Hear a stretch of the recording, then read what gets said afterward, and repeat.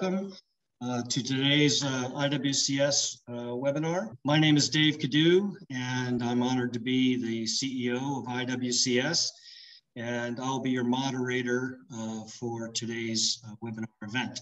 As, as you know, our uh, IWCS webinar series event is hosted by the Cable and Connectivity Industry Forum, which is coming up in, in a few short weeks, the first week in October. We hope that you have on to our website and found information on the tremendous uh, uh, program that we have established, uh, over 75 excellent technical papers.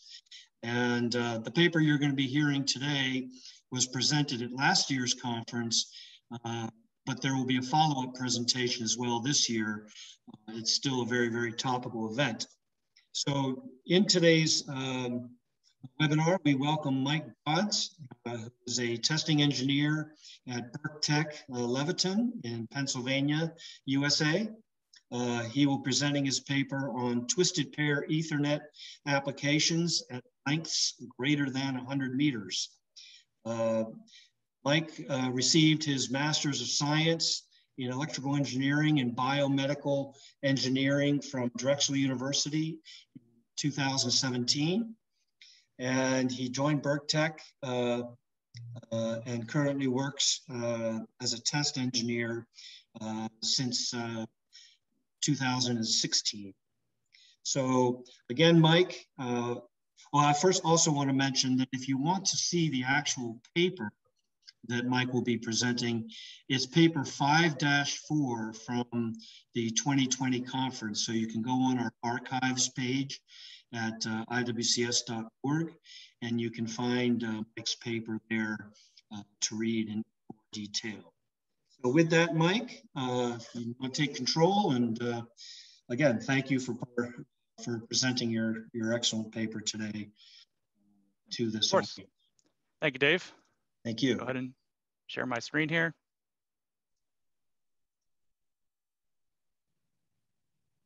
All right believe I'm sharing the proper screen now. So good morning, everybody. As Dave said, my name is Michael Dodds, and I'll be presenting on a paper that I co-authored for IWCS last year entitled Twisted Pair Ethernet Applications at Lengths Greater Than 100 Meters.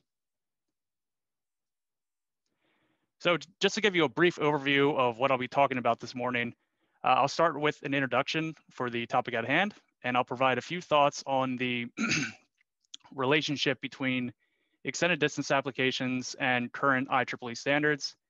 I'll delve into the test setup. I'll describe what our procedure was, uh, some operational definitions so you can sort of better understand uh, what exactly we're looking at, uh, what standards specifically we looked at for testing, what cables we use for testing, uh, what active equipment was involved with the testing, and then I'll get into our results and the conclusions that we could derive from them. So in theory, meeting an IEEE 802.3 standard should mean that you can yield a uh, compliant connection. Uh, and a lot of times those specifications include length, and a lot of times that length is 100 meters. Uh, however, some network devices are a little agnostic to actual channel length.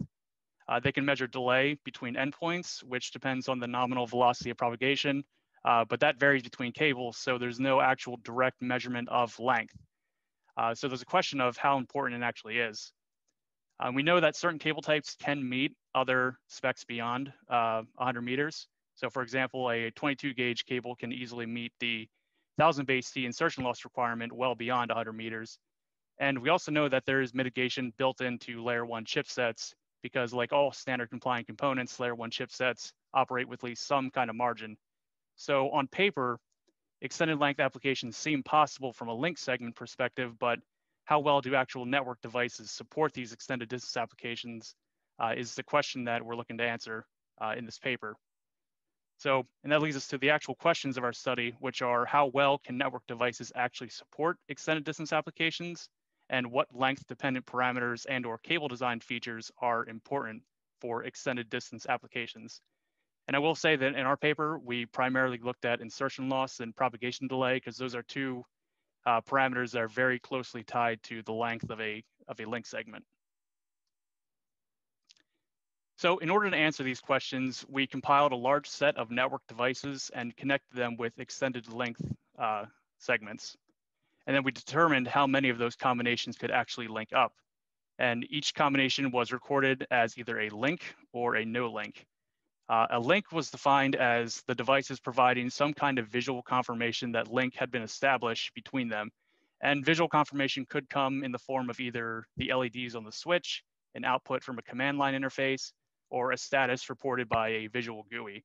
And then no link was simply defined as the devices failing to provide uh, that visual cue within the allotted time.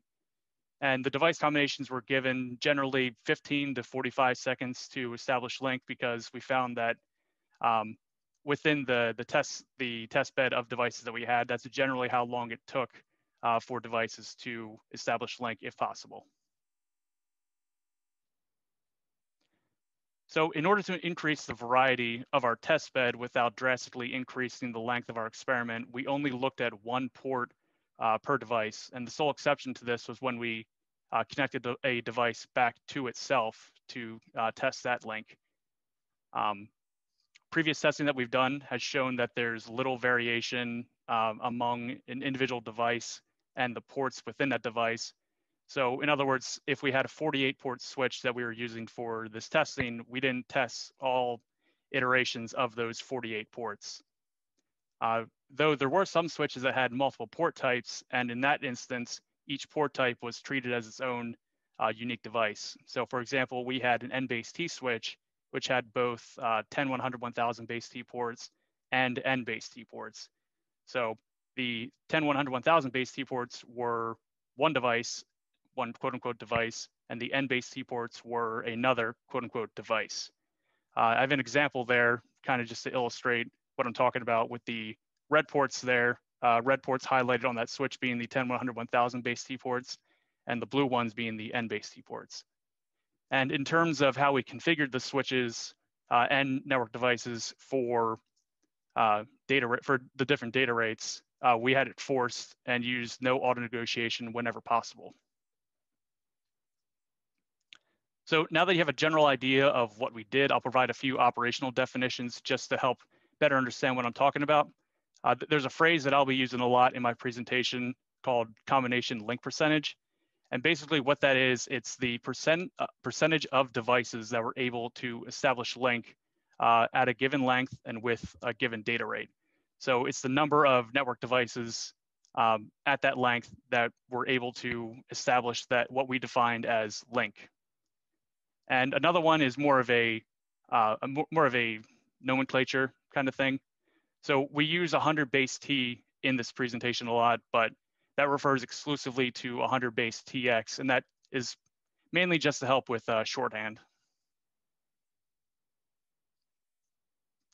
So the standards that we looked at were 10 base T, 100 base T, and 1000 base T. For 10 base T, we examined 34 devices uh, and a total of 478 different combinations of devices. For 100 base T, we looked at 37 devices and 563 different combinations. For 1000 base T, 32 devices and 397 different combinations. And for 10, 100, and 1000 base T, they were all tested at full duplex. So we didn't look at half duplex in our uh, analysis here. And these transmission standards were chosen prim uh, primarily because they're supported by Cat5e, Cat6, and Cat6a link segments, which are among the most popular cable categories used, uh, at least in uh, North America. And we conducted our analysis with five different cables, and these cables had various uh, designs and categories associated with them. And we tested them at coiled lengths of 120, 146, 175, and 200 meter link segments. Uh, and they were all terminated with the same Cat6a field installable plug. And this particular plug was chosen because it had a OD large enough to accept all of the cables within the test set, uh, which allowed us to focus primarily on the cable properties and not what the actual uh, plug contributed to the, uh, the success rate of the different cables. Our test bed consisted of 42 different devices from 14 different manufacturers. And within the test set, we had uh, network switches, network interface cards, PoE power sourcing equipment, and PoE power devices.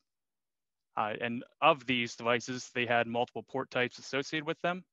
We had some devices with exclusively 10 100 base T, uh, 10 100 base T ports, uh, some that had 10 100 1000 base T ports, some that had the combination of 1000 base T and 10G base T, 10G base T ports, and some that were N base T ports. So the result of testing every applicable combination of 42 devices with five cables at four lengths across three transmission standards was a fairly comprehensive data set. So per length uh, for 1000 base T, we looked at almost 2000 different combinations. For 100 base T, we looked at uh, almost 3000 different combinations. And for 10 base T, we looked at uh, about 2400 different combinations. So in total, for 1000 base T, that was almost 8,000 different combinations that we connected. For 100 base T, uh, it was over 11,000 different combinations. Uh, and for 10 base T, it was approximately 9,500 different combinations. Uh, and some of you might be wondering why we didn't examine bit error rate or, or frame error rate within this test. And the issue was simply time, uh, because if we wanted to actually evaluate the quality of those link segments, uh, those several thousand link segments would have taken uh, rather long amount of time. So it just didn't fit within the, uh, the, the time constraints of our study. So on this slide here, I have a combination of the summary of CLP versus length for each cable uh, at each length for each transmission standard. And just a reminder that CLP stands for combination link percentage uh, and is the device combination, the percentage of device combinations that could establish link. Uh, so on the left there, we have 10 base T. Uh, in the middle, 100 base T or 100 base TX. And on the right is 1000 base T. So now to look at each of them individually. Uh, with 10 base T, uh, there really wasn't much of a difference between the 22 gauge and 23 gauge cables at 120, 146, and 175 meters.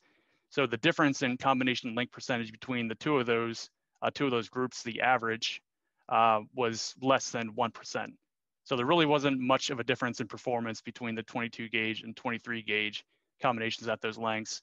And even at 20 at a 200 meters, there wasn't much of a difference. It was a approximately 3% difference in combination link percentage between the 22 gauge and 23 gauge cables.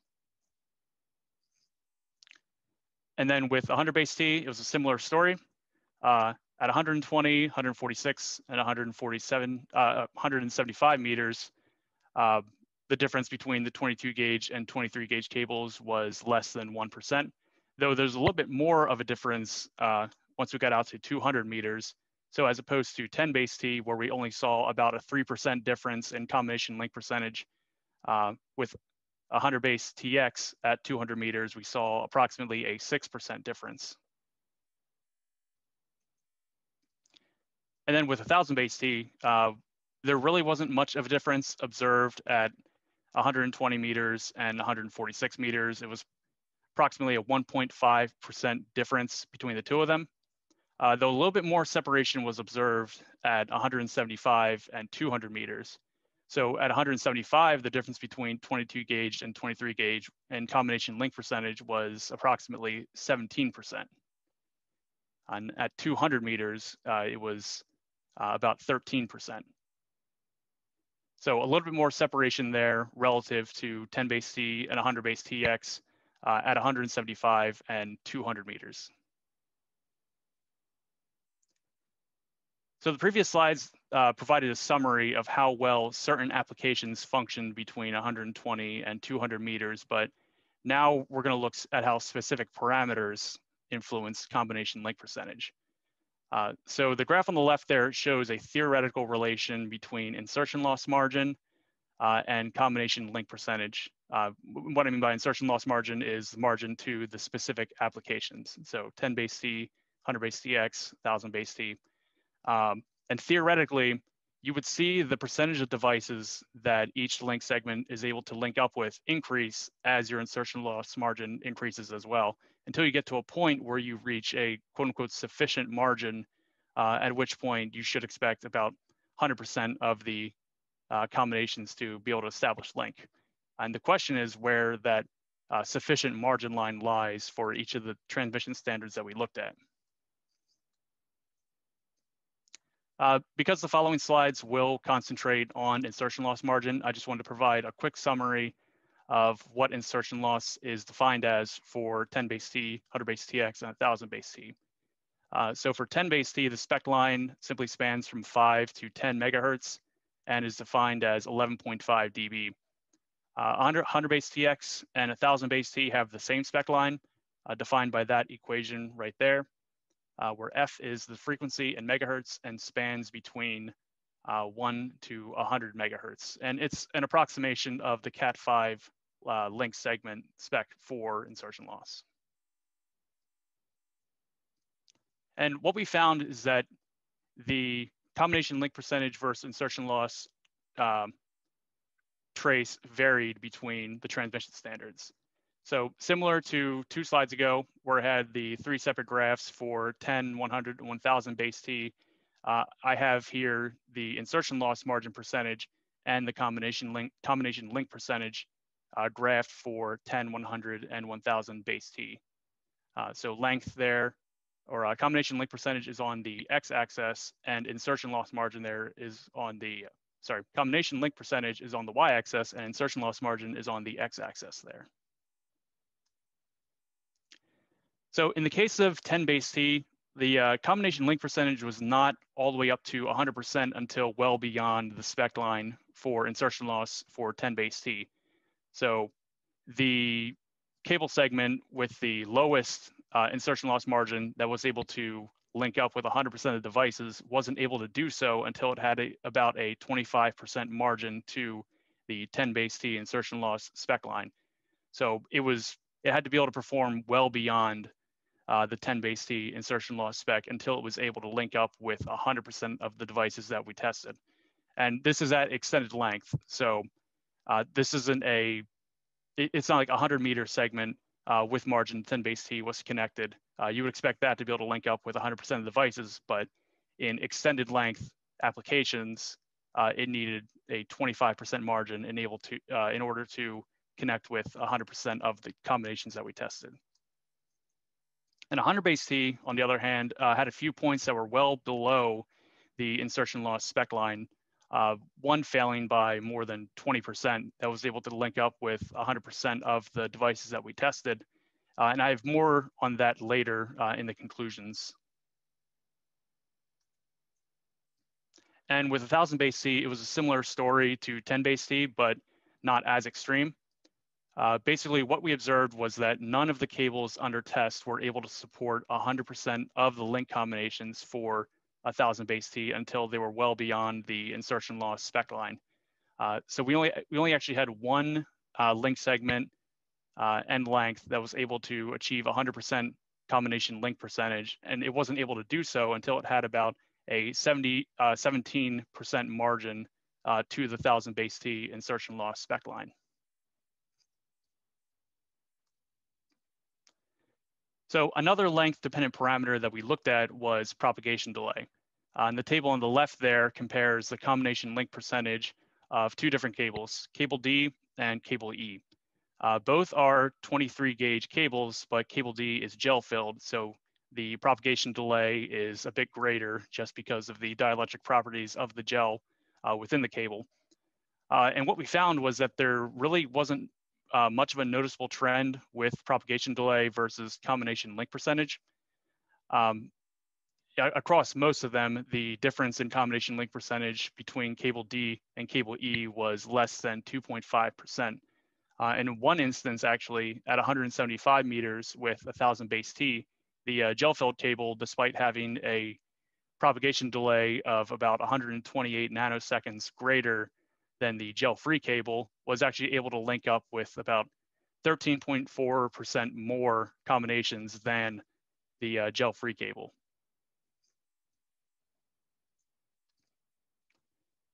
So from these results, we can make a number of conclusions. Uh, the first one being that network devices are able to support extended distance applications, but they seem mostly beholden to IEEE 802.3 standards.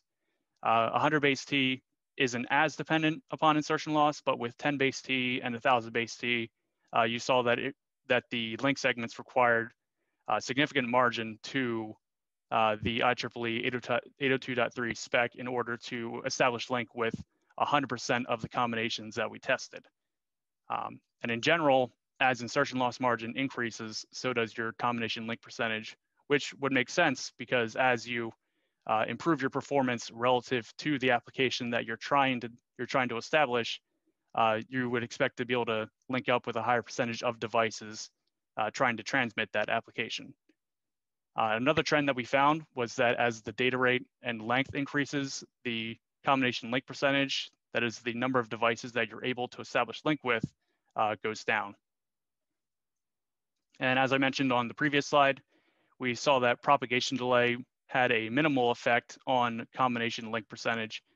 Um, and in some cases, it, it, seemed to be that the uh, cable, despite having uh, a much higher propagation delay than another one, was able to link up with a greater number of, uh, of devices.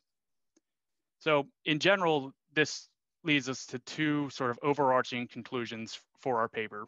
Uh, one is that going beyond 100 meters is possible, but it yields a mixed amount of success. So it really depends on the active equipment itself uh, and how much margin you have to uh, the application that you're trying to support with the cable link segment.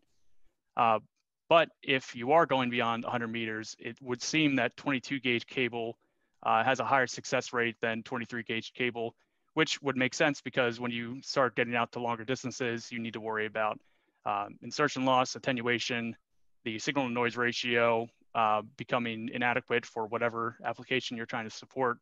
Uh, and one way to do that would be to increase the uh, magnitude of your signal. And one way to achieve that is to uh, use a cable design that minimizes the attenuation uh, from extended length. So it would seem logical that uh, 22 gauge cables would be suitable for applications beyond 100 meters.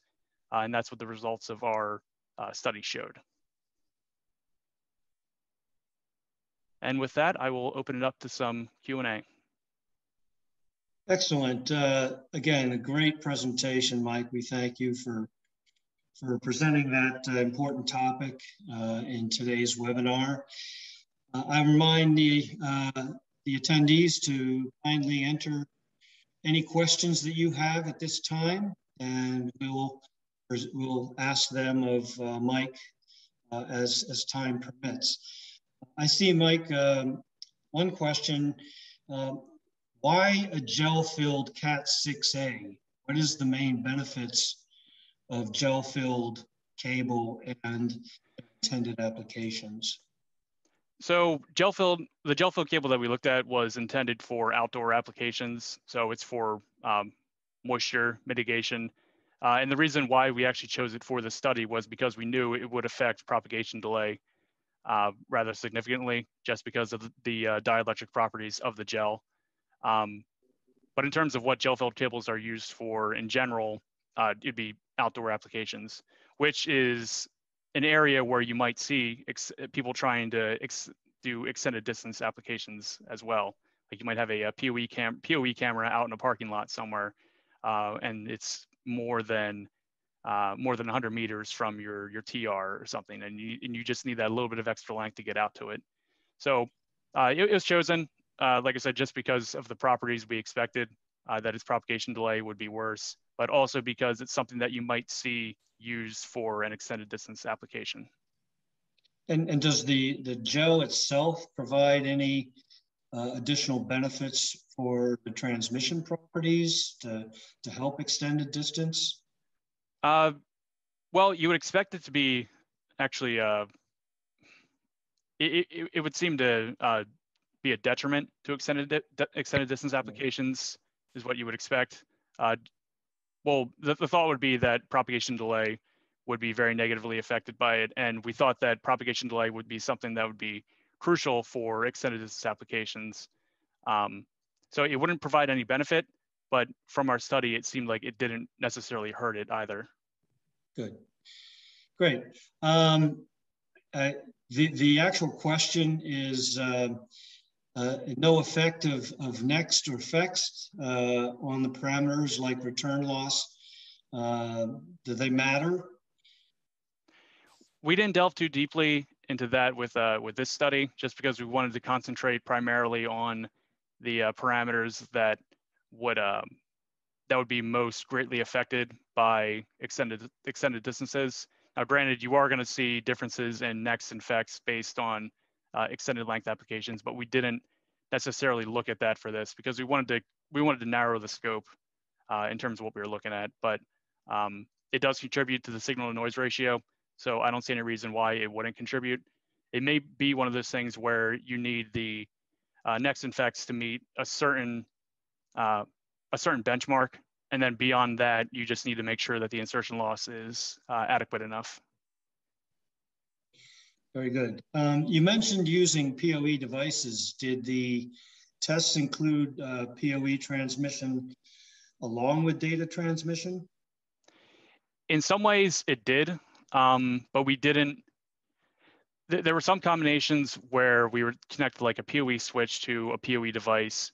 Um, and generally what we saw is that in all the instances, it was able to power that device um, at at least the uh, like class one PoE. Uh, we, we didn't we didn't try to support any sort of like 100 watt PoE out at 200 meters or anything like that. Uh, so there was there was some indirect PoE testing, but it wasn't the concentration of the paper. Okay. And uh, did you find that uh, multi-gig switch uh, at 100 base T operated better or worse than a true 100 base T switch? It, it was actually kind of interesting, but the the uh, multi-gig switches that we looked at seemed to have probably the greatest difficulty uh, working at extended length applications, regardless of it of whether or not it was like 100 base T or 1,000 base T. Um, it seemed that like pure 10100 or 10100 1000 base T switches were the ones that were able to support these extended length applications the best. Um, even like 10G base T switches seem to have more trouble than pure one, 10, 100, 1000 base T. Great. Okay, uh, we'll ask for any final questions. Becky, do you see any questions, other questions that uh, I may have missed? Dave, I do not see any additional questions at this time.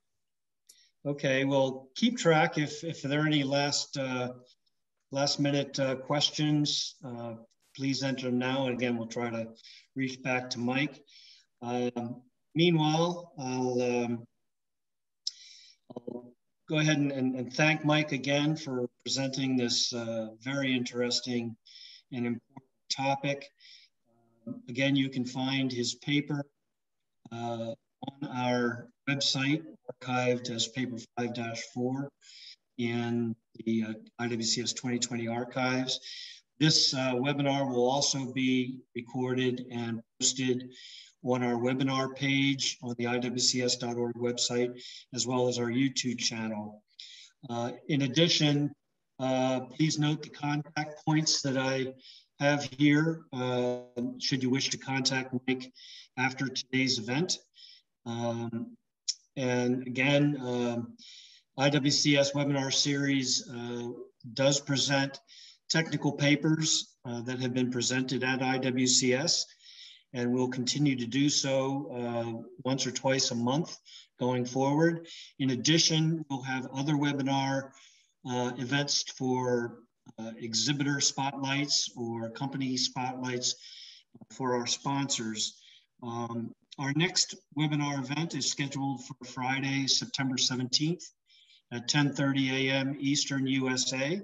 So you will be uh, receiving a notification and announcement for this event here shortly. And please feel free to share these announcements uh, with your colleagues so that they can join in and register as well. Uh, again, Becky, any, any questions that have come in? Yes, we received one more question. Uh, okay. The question is, could it be that the multi-gig switches have a delay requirement and that is what made them perform worse? Um, it's possible. Uh, I will say that the uh, uh, Ethernet PHYs aren't exactly my area of expertise. I know like the, the cable link segments, and I know uh, generally the, uh, the, the, the the form of the uh, um, how how data is transmitted, like via PAM5, NRZ, things like that. But in terms of the propagation delay requirements of the multi-gig switches themselves, I can't necessarily say, but that is definitely something that uh, it could be possible. I mean, it all depends on uh, how much of a buffer the uh, the different ports have. Um, maybe they can't. Um, maybe it, it, could be to the point where propagation delay uh, causes data to be dropped uh, via the buffer um, at the different endpoints. So it's it's possible, but not something we wasn't anything I really considered for the paper. Very good. So again, we thank you uh, for participating and, asking those excellent questions uh, to Mike. Uh, I do want to mention that uh, for 70 years, uh, the IWCS K1 Connectivity Industry Forum uh, has been the recognized leader showcasing new technologies and in the cable and connectivity products, processes, and applications areas. And uh, we, we could not do this without uh, the, the support of our partner level sponsors. And uh, you can see the, the prominent suppliers in our industry who uh, help us to, uh, to provide these important technical contributions in our industry. And uh, we thank them immensely. our next conference, as you know, is coming up in a few short weeks. Uh, it will take place virtually, unfortunately, but we're still dealing with obviously the effects of the pandemic. We are hopeful and, and very positive that we'll be back together again in person in Providence in October of 2022. The virtual conference, uh, you can read more about it and get our preliminary program from our website. It will be held uh, on Monday through Friday, October 4th through October 8th. Uh, please watch your inbox and your social media uh, areas and, and our website, of course, uh, on how to register uh, and learn more about uh, the exciting event and presentations that, that are going to be provided to you. Registration discounts are available right now, so we encourage you to register as soon as possible, take advantage of some significant cost discounts. Uh, again, you can find all the information you need on iwcs.org website. So again, thank you for participating. Mike, we greatly appreciate you and, and uh, your great presentation. And that concludes today's event. So uh, take care, everyone. Have a great weekend. Thank you, Dave. Thank you.